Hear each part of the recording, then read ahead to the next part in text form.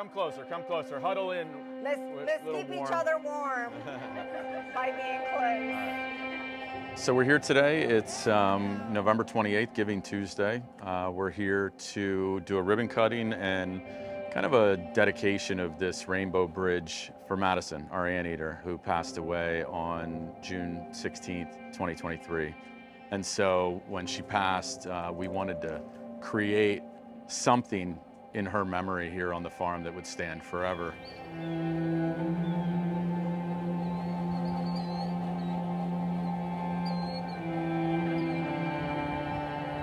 I wanted to just quickly tell a little story about Madison and how we got to know Madison. Lena and I, and you know, some of the team members were here, but we um, it actually happened in this very barn. We uh, we came here, and it was probably a week after we took over. We had the animals inside of this barn because I, I don't know if it was storming, something going on, and we came in in the morning, and Madison was gone. We're like, oh no, what are we to do? Lena hears this rustling, goes up, and she sees this shadow in a trash bag. Well, Madison decided to take a nap early on. She'd been sleeping she went, all day she went of a trash bag 10 with feet. food. She went 10 feet, found a trash bag.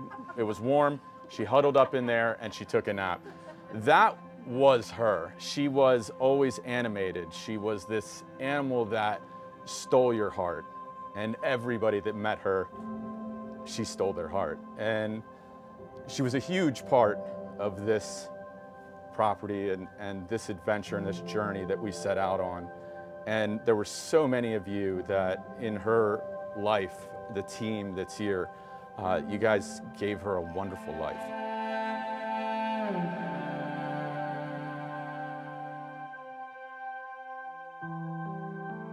One of the things that she really enjoyed, and our team would bring her out, and we had this old dilapidated deck here that, you know, kind of fell apart halfway through, and you know, it was a wooden deck that had probably been here forever.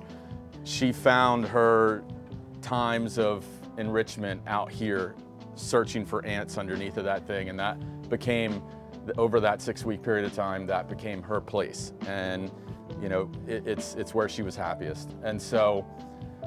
Lena put the team, our maintenance team, and, and Johnny under an immense amount of pressure one day and said, Johnny, we got a wedding coming up and it's in two weeks. And I promised these people that this old raggedy boardwalk would be gone and we'd have a new structure built by the time that wedding was here. That was two years ago when they booked with us and you know, we've spent all our money on these animals, so we have to figure this out. And so Bottom line is, um, she gave him an impossible task and said, build a 240 foot boardwalk that extends from the parking lot to the event venue where we stand right now. And um, not only did he get it done in, in two weeks, he did it through a hurricane and he did it in 10 days. And he, he Johnny led this effort with our, our, amazing team, some volunteers, but it was, um, it, it was, it was huge. And it just put on display what this is. And this isn't just a, a, boardwalk, this isn't just, you know, any small thing. This is something that in the very beginning everybody had without having to even say it. This is Madison.